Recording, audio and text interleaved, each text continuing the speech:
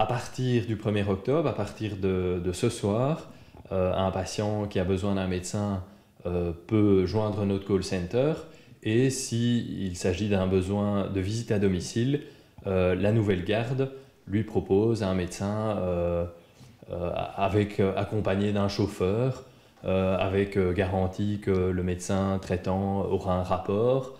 Euh, c'est une garde mieux organisée qu'auparavant parce qu'on essaie d'avoir uniquement les médecins dont on a besoin aux, bonnes heures.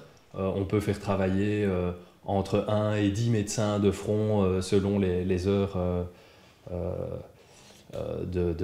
d'affluence. par exemple, en nuit profonde sur Bruxelles, on n'a généralement pas besoin de beaucoup de médecins, donc on aura un, deux médecins qui peuvent tourner avec des troisième et quatrième lignes si nécessaire, si jamais il y a plus d'appels. Mais on essaye surtout que notre garde soit beaucoup plus rationnelle.